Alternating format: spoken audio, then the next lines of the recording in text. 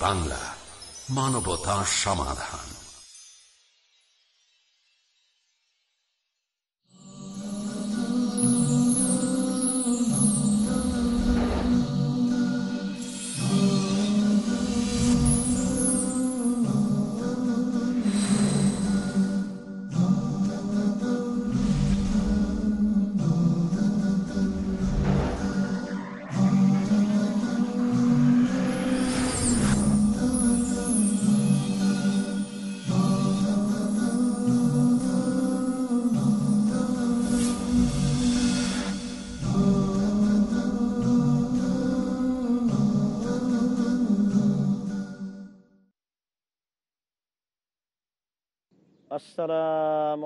عليكم ورحمة الله. الحمد لله وحده. الصلاة والسلام على من لا نبي بعده. أعوذ بالله من الشيطان الرجيم. قل هل يستوي الأعمى والبصير؟ أفلا تتفكرون؟ عن معبية رضي الله تعالى عنه قال قال رسول الله صلى الله عليه وسلم মাইরিদুল্লাহ বেহি খায়রান ইফাক্কেহ রাহুল বুখারি। সম্মানিত দর্শক মণ্ডলী, আমরা আদর্শ পরিবারের উপর গুরুত্বপূর্ণ তথ্যবহল আলোচনা পেশ করছিলাম। একটা পরিবার কীভাবে আদর্শ হতে পারে, এ ব্যাপারে আমরা প্রাণপণে চেষ্টা করব ইনশাআল্লাহ। এবং কিছু নিয়ম পদ্ধতি আমরা পেশ করছি আরও করব। যেসব কারণে একটা পরিবার আদর্শ হতে পারে ওই কারণগুলি যখন পরিবারে থাকবে না, তখন একটা পরিবার অধপতনে যাবে। আমরা এ ব্যাপারে সর্বপ্রথমে যাদেরকে আমরা হিসাব রেখেছি, তারা হচ্ছে গার্জেন পিতে। পিতা মাতা যদি সতর্ক সাবধান না থাকেন, তাহলে পরিবার মাঠে মারা যাবে। যেটা একেবারে খোলাখুলিভাবে আল্লাহর রসুল দায়ী করেছেন পিতা মাতাকে আমরা পরিবার সংশোধনের জন্য দ্বিতীয় স্তরে থাকব, বিদ্যে। বিদ্যায় যদি ত্রুটি হয়, তাহলে পরিবার ভুল পথে চলে যাবে, সঠিক পথ পাবে না। তো বিদ্যে যদি ভুল থাকে, তাহলে জাতি কল্যাণ পাবে কি করে? আর পরিবার কল্যাণ পাবে কি করে? একটা পরিবার ধ্বংস হওয়ার এক নম্বর আমরা স্বভাব কারণ মনে করব, পিতামাতা। আর দুই নম্বর কারণ মনে করব, বিদ্যার ত্রুটি। বিদ্যায় ত্রুটি থাকলে পরিবার রক্ষা হবে না। আমি আলোচনা করার পূর্বে আপনার সাথে একটু দুই মিনিট কথা বলি। তাহলে আমাদের কোরআন হাদিসের আলোচনাটা স্পষ্ট হবে। ধরুন যে আপনি আপনার ছেলেটাকে ক্লাস ফাইভে পড়তে দিয়েছেন। আপনি চাচ্ছেন ছেলে পড়াশোনা ভালো করুক। ভালো রেজাল্ট করল। এইটা আরও ভালো করল। ম্যাট্রিক পরীক্ষা দিয়ে গিয়ে সে ফার্স্ট হলো। আপনি চারটা, পাঁচটা মাস্টার রেখে বিশ্ববিদ্যালয়ে ছেলেটাকে ভর্তি করলেন। ছেলেটা অঙ্ক বা ইংরেজি সাবজেক্টে ভর্তি হয়ে খুব ভালো রেজাল্ট করে চলে গেল লন্ডন। লন্ডন থেকে ছেলেটা পড়ে আসলো। সুন্দর উপযুক্ত বিদ্যা অর্জন করেছে। ছেলেটা এবার ঢাকা হাইকোর্টের উকিল। একটা ভালো পদ পেয়েছে, ব্যারিস্টারি লাভ করে এসেছে। আপনার চোখের সামনের কথা আমি দিচ্ছি আপনার সামনে। এবার আমি একটা কারণবশত কেস নিয়ে গেছি ঢাকা হাইকোর্টে আপনার ছেলের হাতে কেসটা দিয়েছি। আপনার ছেলে আমাকে বলল, কত টাকা নিয়ে এসছেন? আমি, বিশ হাজার টাকা নিয়ে দিলাম। দিয়ে বলল যে, দশ দিন পরে দেখা করবেন। দশ দিন পর আমি গেলাম। আমাকে বলল, টাকা নিয়ে এসেছ? বললাম, জি না। তো যা একটু হালকা বাইরের জমি ছিল, সেটুকু আমি বিক্রি করে নিয়ে এসেছিলাম। তো বলছে, না, আবার টাকা নিয়ে আসেন। আমি যে ভিটা বাড়ি ছাড়া কিছু নেই। বলে, ভিটা বাড়ি বিক্রি করে টাকা নিয়ে আসেন তো পরে গিয়ে আহাল পরিবারকে বের করে দিয়ে ভিটা বাড়ি বিক্রি করে আপনার ছেলের হাতে দিলাম। এখন পর্যন্ত আপনার ছেলে কেস চালু করেনি আমার। বাড়ি বিক্রি করে আপনার ছেলের হাতে টাকা দিয়েছি আমি। যে প্যান্ট আপনার ছেলে পরে আছে, ওটা টাকানোর নিচে আছে। যে গাড়িটাতে আপনার ছেলে হাইকোর্টে এসেছে, ওই গাড়িটা আমার টাকা দিয়ে কিনা আছে, অন্যায় টাকা। সেটা আপনার ছেলের বৈধ উপার্জিত নয়। আর একজনের টাকা দিয়ে কিনা আছে। আপনার ছেলের গাড়িতে একটা কুকুরের মূর্তি আছে। আপনার বৌমা নগ্ন পোশাক পরে থাকে। মাথার চুল ছোট আছে।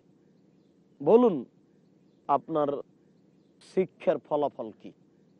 আমি কি ভুল বলছি? যদি ভুল বলি তাহলে আপনি পরিবেশের সাথে মিল করে দেখুন, ত্যাগ করতে হবে ভুল বললে। মানে ত্রুটি কোথায়?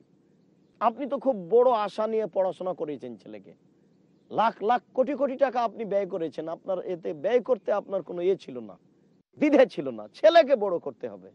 আপনার ছেলের পরিণতি এই। যতদিন পর্যন্ত আমি নিজে সহ ছেলে মেয়েকে ওই শিক্ষা দিতে না পেরেছি, যেই শিক্ষা ভালো মন্দ বুঝাবে, আমার ছেলেকে ভালো মন্দই বুঝাতে পারেনি আমার এই দীর্ঘ ষোলো বছর, আঠারো বছর বিদ্যে। লাখ লাখ টাকা খরচ করিয়ে আমার ছেলেকে আমি ভালো মন্দটাই শিখাতে পারিনি। আমি তো মনে করি, আপনারা আমার ছেলে সবচেয়ে বড় কষাই কষাই নয়, ও সব টাকা নিল আমার কাছ থেকে, ও তো আপনার ওই কেসি চালু হয়নি। বিদ্যা কাকে বলে? আল্লাহ নবী বলছেন যে, এমন একটা সময় চলে আসছে, লায়াদ্রিল কাতেল ফিমা কাতালা অলাল মাকতুল ফিমা কোতেলা। হত্যাকারী বুঝবে না কেন আমি মারলাম, নিহত ব্যক্তি বুঝবে না কেন আমি মরলাম। আমি নিজেই জানি না যে আমি কেন মারলাম আর কেন মরলাম, অথচ আপনার ছেলে জজ। আমার আজীবন জেল দিয়েছে। আপনার ছেলে কি বিদ্যা শিক্ষা অর্জন করেছে? ভালো মন্দ বুঝে? আল্লাহ দুই নম্বর পরিবার ধ্বংসের কারণ হচ্ছে বিদ্যে। যেই বিদ্যা আমার ছেলে মেয়ে অর্জন করছে, এই বিদ্যা দিয়ে পরিবার রক্ষা হবে না। এটা সহযোগী বিদ্যা হতে পারে। আল্লাহ তালা বলছেন যে, ফালাম ইল্লাল্লাহ। এই বিদ্যা অর্জন করো যে, আল্লাহ ব্যতীত কোনো মাবুদ নেই। আমার আপনার ছেলে মেয়েকে এমন একটা বিদ্যা অর্জন করতে হবে, যেই বিদ্যার ফলাফল হবে যে ওই ছেলে বলবে, আল্লাহ ব্যতীত কোনো মাবুদ নেই। তাহলে বুঝতে হবে যে আমার ছেলে আপনার মেয়ে বিদ্যা অর্জন করেছে। আল্লাহ তালা বলছেন যে, কুল হাল ইয়াস্তাবিল আ'মা ওয়াল বাসীর, আফালা তাতাফাক্কারুন? মোহাম্মদ সাল্লাল্লাহু আলাইহি সাল্লাম আপনি বলুন যে অন্ধ ব্যক্তি আর শিক্ষিত ব্যক্তি কি সমান? সবাই আমরা বলব যে না। আল্লাহ তালা আমাদেরকে বলছেন যে, সারা দুনিয়ার মানুষ তোমরা বলো যে, যেই মানুষের চক্ষু আছে আর যেই মানুষ অন্ধ, এরা দুইজন কি সমান? তা আমরা সবাই বলব জি না, সমান নয়। আল্লাহ তালা এখন বলছেন যে, আফালা তাতা ফাক্কারুন তোমরা কেন চিন্তা করো না? তা আল্লাহ তালা আমাকে সৃষ্টি করেছেন, তার হুকুম মানতে হবে। আল্লাহ তালা বলেছেন রিবা। আল্লাহ তালা ক্রয় বিক্রয়কে বৈধ করেছেন, সুদকে হারাম করেছেন।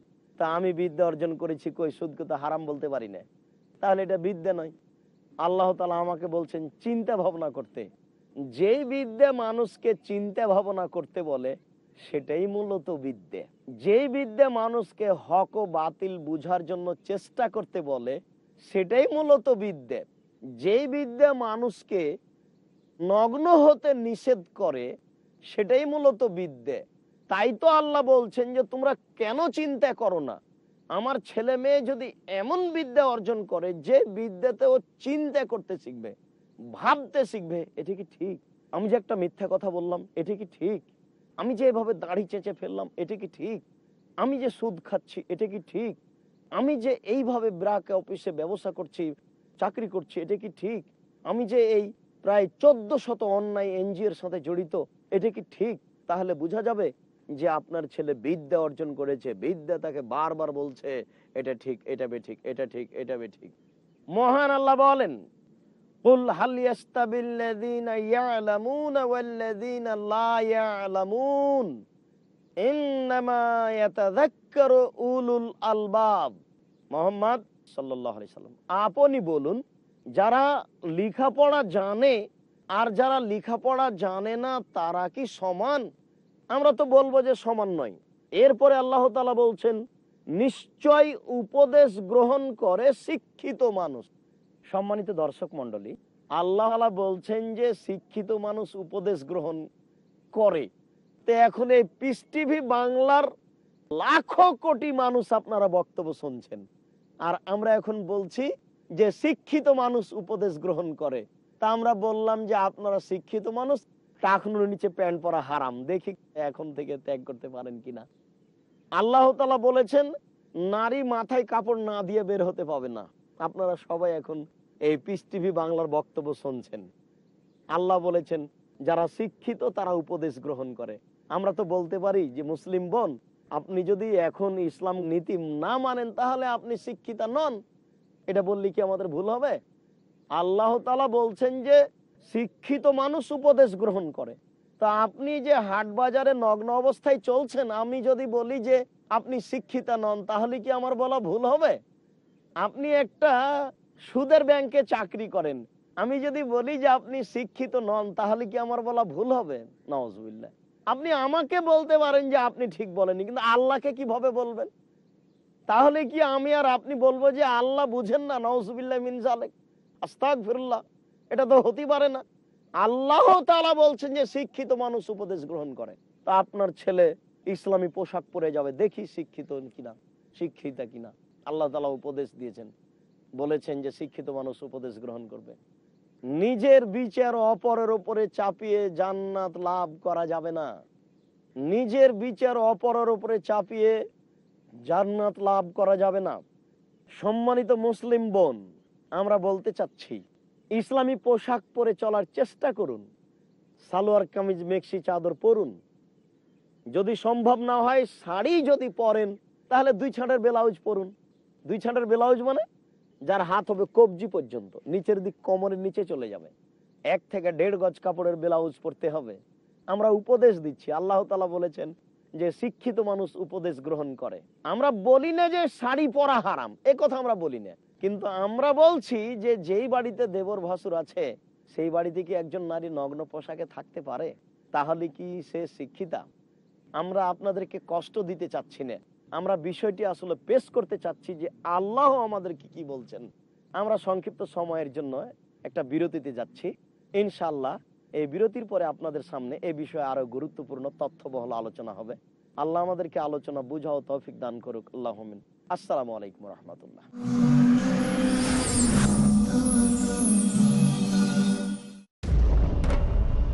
বিশ্বজাহান পরিচালনার জন্যে সুন্দর একটি যদি বিধান না হয় তাহলে তার ধ্বংস যে অনিবার্য। শেখ সাইফুদ্দিন বিলাল মাদানী। তাই আসুন সুনার আলোকে জীবন গড়ার জন্যে পৃথিবী বাংলায় আপনাদের জন্য নির্বাচিত কিতাব বুলুগুল মারাম মিন আদিল্লাতিল আহকাম এর মাধ্যমে দার্সে হাদিসের সুব্যবস্থা করা হয়েছে। আপনাদের সকলকে শোনার এবং জানার জন্যে সাদর আমন্ত্রণ জানাচ্ছি। দেখুন বলুগুল মারামের দার্সে হাদিস শুধুমাত্র পিস টিভি বাংলায়। বুলুগুল মারা প্রতি রবিবার মঙ্গলবার ও বৃহস্পতিবার সন্ধ্যা ছটায় আপ পুনঃ সম্প্রচার দুপুর দেড়টায় বাংলাদেশে পিস টিভি বাংলায়। দ্বিধা দ্বন্দ্ব মূল্যবোধের অভাব প্রকৃত বিশ্বাসের অভাব অসচেতন জীবনযাপন ধর্মকে ভুলভাবে তুলে ধরা ধর্মীয় গ্রন্থের পরিবর্তন এবং সংস্করণ যথাযথ তথ্য পেতে সকল ক্ষেত্রে আমি সংগ্রাম করছি সত্য প্রকাশ করতে। কারণ এটা যেন আপনার অধিকার আর আমার দায়িত্ব সত্যটা বলা। দেখুন, সত্য উন্মোচন প্রতি শুক্রবার থেকে বুধবার রাত নটায় আপ পুনঃ সম্প্রচার সকাল সাড়ে সাতটায় বাংলাদেশে পিস টিভি বাংলায়। এমন ঘটনা যার মধ্যে নিহিত আছে আল্লাহর নির্দেশ। কোরআনের ঘটনা যে ঘটনা অত্যন্ত শিক্ষণীয়।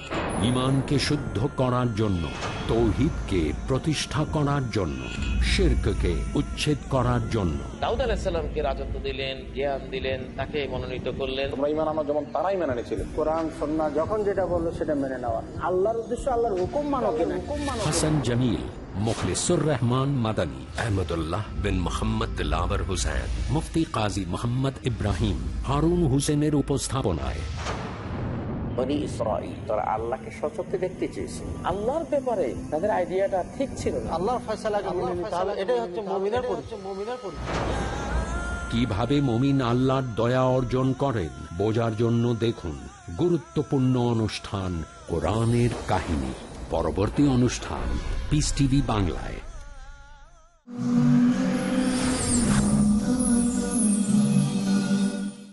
আসসালামু আলাইকুম রহমতুল্লাহ সম্মানিত দর্শক মন্ডলী আপনারা অপেক্ষায় বসে আছেন, এই জন্য আমরা আপনাদের সুক্রিয়া আদায় করি। জাজাকাল্লা খায়ের। আমরা গুরুত্বপূর্ণ তথ্যবল আলোচনা পেশ করছিলাম যে একটা পরিবার রক্ষা পেতে পারে ঠিক বিদ্যায়। বিদ্যায় যদি বেঠিক হয়ে যায়, তাহলে পরিবার রক্ষা পাবে না। আল্লাহ তালা বলছেন নাজুরি অসংখ্য দৃষ্টান্ত পেশ করেছি মানুষের জন্য। আলেমুন।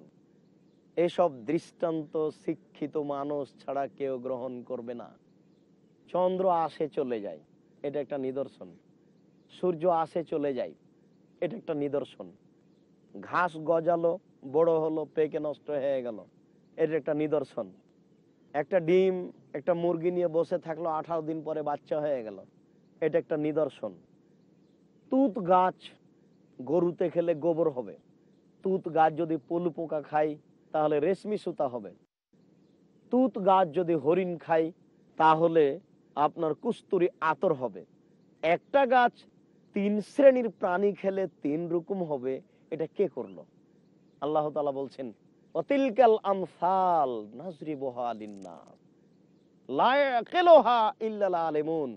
অসংখ্য দৃষ্টান্ত পেশ করেছি, শিক্ষিত মানুষ ছাড়া কেউ বুঝে না।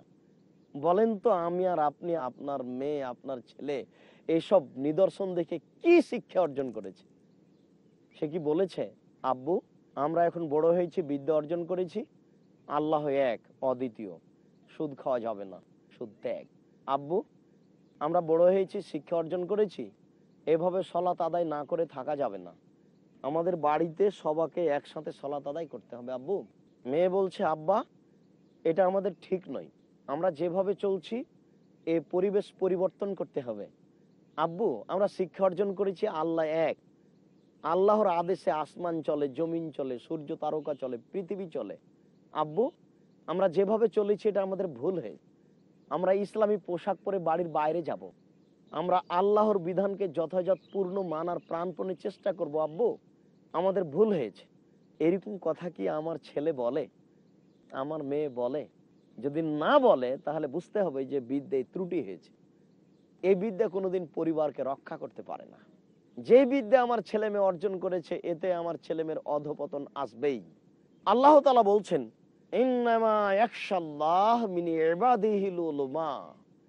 নিশ্চয় যারা শিক্ষিত মানুষ, তারাই আল্লাহকে ভয় করেন।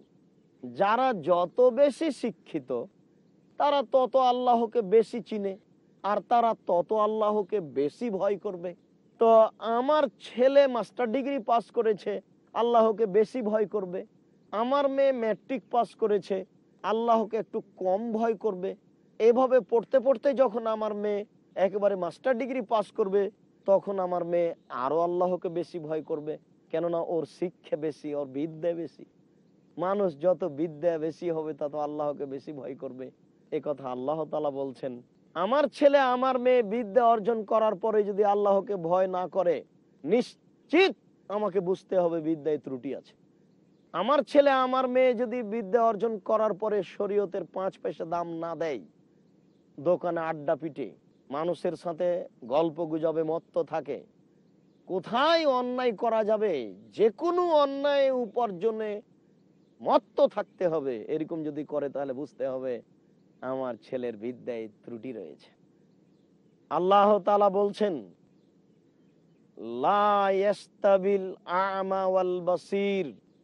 একজন অন্ধ মানুষ আর একজন চক্ষুওয়ালা মানুষ সমান নয়। আল্লাহ বলেন আলো আর অন্ধকার সমান নয়। আল্লাহ বলেন, ছায়া আর রৌদ্র সমান নয়। আল্লাহ বলেন, মরা দেহ আর জীবিত মানুষ সমান নয়। মরা দেহ মারা গেছে, ভালো মন্দ বুঝে না, পাপ বুঝে না, অন্যায় বুঝে না। আর জীবিত মানুষ জীবিত আছে, ভালো মন্দ বুঝে, অন্যায় বুঝে। যদি আমার ছেলে মেয়ে শিক্ষা অর্জন করার পরে যদি পাপ নেকি না বুঝে, তাহলে আল্লাহ তালা বলছেন, এই ছেলে, এ মেয়ে মরা দেহ, একটা লাশ, আমরা কি এই কথাতে কষ্ট পাবো? এটা তো আল্লাহ তালা বলছেন। সুরা ফাতের সতেরো, আঠারো, উনিশ নাম্বার আয়াত, আমরা দেখতে পারি। আল্লাহ তালা বলছেন যে, যারা ভালো মন্দ বুঝে, তারা হচ্ছে জীবিত মানুষ। আর যারা ভালো মন্দ হক বাতিল বুঝে না সুদ ঘুষ বুঝে না, হালাল হারাম বুঝে না, এরা হচ্ছে মরা দেহ, মরা লাশ। আল্লাহ তালা বলছেন, ছায়া আর আলো, ছায়া আর রৌদ্র, যারা ভালো মন্দ বুঝে, তারা শিক্ষিত, তারা ছায়া। যারা ভালো মন্দ বুঝে না, তারা হচ্ছে রৌদ্র। আপনার ছেলে মেয়ে যদি ভালো মন্দ না বুঝে, তাহলে আপনার ছেলে মেয়ে শিক্ষিত নয়, এ হলো রৌদ্র। আল্লাহ তালা বলছেন যে আলো আর অন্ধকার, যে ব্যক্তি ভালো মন্দ বুঝলো, সে হলো আলো, আর যে ব্যক্তি বুঝলো না, সে হলো অন্ধকার।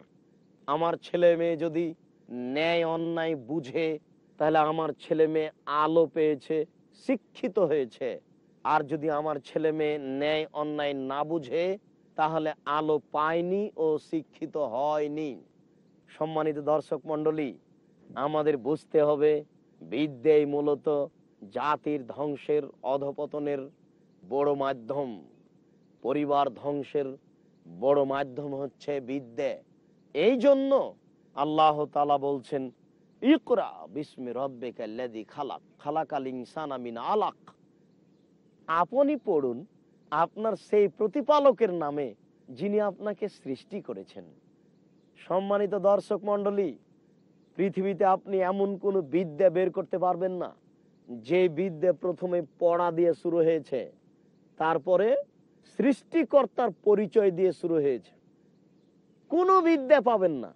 পৃথিবীতে কোনো বিদ্যাই নেই।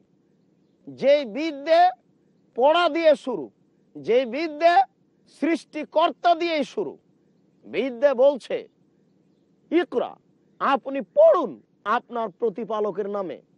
অঙ্ক শাস্ত্রে এরকম কোনো বিদ্যা নেই, বাংলা শাস্ত্রে এরকম কোনো বিদ্যা নেই, ইংরেজি শাস্ত্রে এরকম কোনো বিদ্যা নেই, পৃথিবীর কোনো বিদ্যা গতিতে এরকম কোনো বিদ্যা নেই। যে বিদ্যা শুরু হয়েছে সৃষ্টিকর্তার পরিচয় দিয়ে, একমাত্র কোরআন হাদিসের বিদ্যাই, একমাত্র ইসলামী বিদ্যা আরম্ভ হয়েছে সৃষ্টিকর্তার পরিচয় দিয়ে। সম্মানিত দর্শক মন্ডলী তিনি পরিচয় নিজের দেওয়ার পরে নিয়ে গেলেন মানুষের কাছে মানুষের পরিচয়। তুমি আগে বিদ্যা অর্জন করো। এরপরে বিদ্যে দিয়ে বুঝো, আমি সৃষ্টিকর্তা আল্লাহ, আল্লাহকে চিনো। এরপরে তুমি নিজেকে চিনো। তুমি হচ্ছে একটা একেবারে তুচ্ছ, দুর্গন্ধময়, সাধারণ পদার্থ দ্বারা তৈরি। তুমি আমাকে না চিনে চলতে পারো না। তুমি আমাকে উপেক্ষা করে চলতে পারো না। তুমি নিজেকে চিনলে আমাকেও চিনবে। আমাকে চিনলেই কোনটা বিদ্যা অর্জন করতে হবে সেটাও বুঝবে। সম্মানিত দর্শক মন্ডলী আমরা যদি বুঝাতে না পারি তাহলে এটা আমাদের অক্ষমতা। আমাদের অক্ষমতার দরুনই আমরা সঠিক বুঝাতে পারছি না। আল্লাহর কাছে আমরা প্রার্থনা করি, প্রতিপালক, তুমি আমাদের সঠিকটা বুঝার ও জানার তৌফিক দান করো। আল্লাহ তালা বলেন আর রহমান আল্লামাল কোরআন, খালাকাল ইনসান আল্লামাহুল বায়ান। রাহমান তিনি। আর রাহমান রাহমান তিনি, যিনি কোরআন শিক্ষা দিয়েছেন, যিনি মানুষ সৃষ্টি করেছেন, যিনি মানুষকে বিবরণ শিক্ষা দিয়েছেন। সম্মানিত দর্শক মন্ডলী তাহলে আমরা, এবার আমরা বুঝি, বিদ্যা হলো কোরআনের বিদ্যা। আর রাহমান রাহমান তিনি, আল্লামাহুল বায়ান, আর রাহমান আল্লামাল কোরআন, যিনি কোরআন শিক্ষা দিয়েছেন। খালাকাল ইনসান, যিনি মানুষকে সৃষ্টি করেছেন। আল্লামাহুল বায়ান, কীভাবে পৃথিবীতে থাকতে হবে, চলতে হবে সব কিছুর পূর্ণ বিবরণ দিয়েছেন তিনি রাহমান। আমরা এ আয়াতের এ অংশ থেকে বুঝতে পারছি, মূলত বিদ্যা হচ্ছে কোরআনের বিদ্যা। একমাত্র কোরআনের বিদ্যায় মানুষকে অধপতন থেকে রক্ষা করতে পারে। একমাত্র কোরআনের বিদ্যায় মানুষের পরিবারকে জাহান্নাম থেকে রক্ষা করতে পারে। সম্মানিত দর্শক মন্ডলী এ কারণেই রাসুল সাল্লাহ আলি সাল্লাম বলেছেন খায়রুকুম্মান তা আল্লামাল কোরআন ও আল্লামাহু। তোমাদের মধ্যে সবচেয়ে উত্তম মানুষ হচ্ছে সেই মানুষ যে নিজে কোরআন শিক্ষা অর্জন করে, অপরকে শিখিয়ে দেয়। তোমাদের মধ্যে সবচেয়ে শিক্ষিত মানুষ হচ্ছে সেই মানুষ যে মানুষ নিজে কোরআন শিক্ষা করে এবং অপরকে শিক্ষা দেয়। আপনার ছেলে মেয়ে যে শিক্ষা অর্জন করেছে, আমরা তাকে তুচ্ছ করি না। আমরা তাকে হেউ তুচ্ছ করি না। আমরা সেই বিদ্যা উপেক্ষা করব, এ কথা আমরা বলি না। আমরা বলছি, আপনার ছেলে মেয়ে জাহান্নাম থেকে বাঁচতে পারে এমন বিদ্যে কি? সেই বিদ্যে হলো কোরআনের বিদ্যে। সেই বিদ্যে হলো আপনার ইসলামী বিদ্যে। আর না জানাই হচ্ছে জাহেলিয়ত। আমরা নগ্ন হয়েছি, অন্যায় নেমেছি, অবিচারে নেমেছি অরাজকতায় নেমেছি। আমাদের কাছে মূলত বিদ্যা না থাকার কারণে। প্রতিপালক, আমরা তোমার কাছে এই অংশে জোরালো দাবি রাখব যে, এটা আমাদের অজ্ঞতা। তুমি আমাদের এই অজ্ঞতা দূর করে। তুমি আমাদের এই জাহেলিয়াত দূর করে। উন্নত মানের বিদ্যে তুমি আমাদের শিখার তৌফিক দান করো। জানার ও বুঝার তৌফিক দান করো। যাতে করে আমরা সেই বিদ্যা অর্জন করে জাতিকে জাহান্নাম থেকে রক্ষা করতে পারি। জাতিকে অধপতনের হাত থেকে রক্ষা করতে পারি। তোমার দরবারে এ দাবি, এ দাওয়া, এ দুয়া রেখে বলছি, আমাদের যারা মারা গেছে, তুমি তাদের কবরের শাস্তি মাফ করো। যারা আমরা অসুস্থ অবস্থায় বাড়িতে হাসপাতালে আছি, তুমি তাদের আরোগ্য দান করো। যারা আমরা বেঁচে আছি, তুমি তাদেরকে তোমার রাসলের পদ্ধতি অনুযায়ী চলার তৌফিক দান করো। এ দাবি, এ দাওয়া এই দোয়া তোমার দরবারে রেখে আজকের সংক্ষিপ্ত আলোচনা এখানেই শেষ করলাম। সুবানা কাল্লাহ ওয়া আশাহাদ আল্লাহ আল্লা ইলাহা ইল্লা ওয়া আতুবু ইলাইক। আসসালামু আলাইকুম রাহমাতুল্লাহ।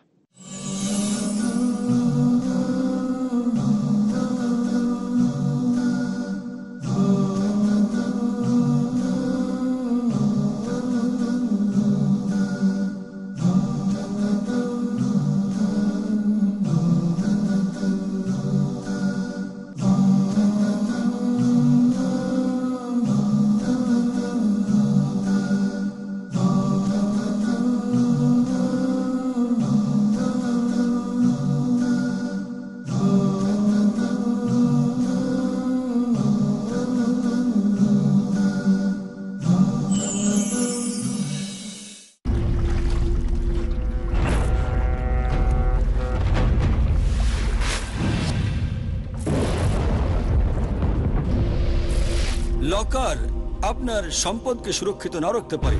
বিনিয়োগ আপনার সম্পদকে না বৃদ্ধি করতে পারে। কিন্তু জাকাত দিলে নিশ্চয়ই আপনার সম্পদ বাড়বে, থাকবে সুরক্ষিত এবং পবিত্র।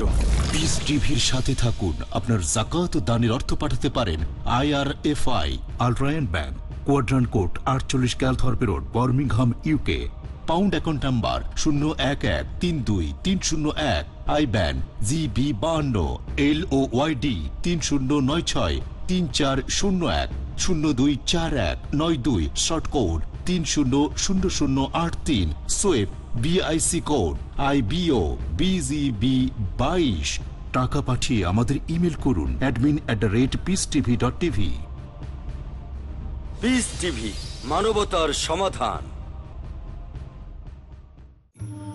إنه من يشرك بالله فقد حرم الله عليه الجنة ومأواه النار নিশ্চয়ই যে আল্লাহর সাথে শিরকে লিপ্ত হয় আল্লাহ তার জন্য জান্নাতকে হারাম করে দেন এবং জাহান্নাম অবধারিত করে দেন শহীদুল্লাহ খান মাদানী জান্নাতে যাওয়ার এবং জাহান্নাম হতে বাঁচার একটি মাত্র পথ তাওহীদ আল্লাহ সুবহানাহু ওয়া তাআলার তাওহীদ জানার জন্য দেখুন আমার ধারাবাহিক দাস কিতাব